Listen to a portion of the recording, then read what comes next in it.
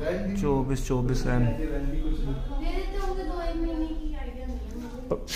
पर फ़ायदा नहीं ना वो लेने का, मामा। मैम, ये आरसी ले तो लेते हैं, कुछ दिन तक तो सही चलती है, उसके बाद परेशानी इकट्ठी हो जाती है।